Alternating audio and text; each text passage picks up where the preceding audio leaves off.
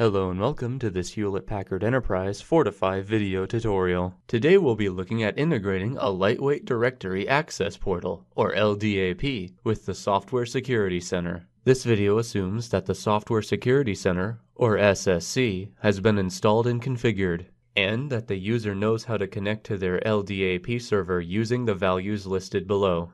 Note that some of these values may be left blank or the defaults. Open the location where you installed the SSC server and contains the configuration wizard. Double-click on the configuration wizard to run it. Either specify the license file or use one that has already been installed. We're going to skip the other settings and head straight to the LDAP section of the wizard. Check the box next to Enable LDAP Integration.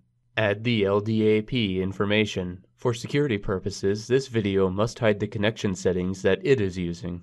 Once everything has been set up, test the connection. You should see a connection successful window pop up. Leave everything as it is and push the changes to the .war file.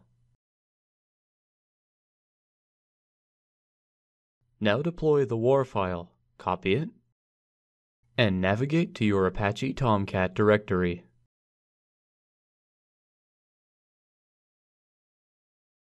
Under Web Apps, paste the ssc.war file. Now let's start up the server. Fire up a web browser. Go to the URL bar and type in the location of the Tomcat server.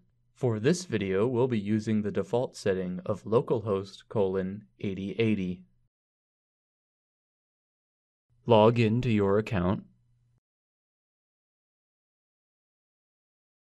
The LDAP settings are under the Administration tab.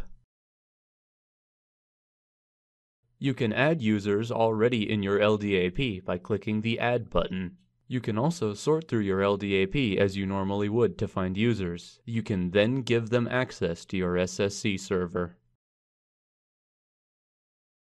You can find the documentation for all Fortify products at protect724.hp.com. If you have any questions, Technical support can be reached at fortifytechsupport at hp.com. Thank you.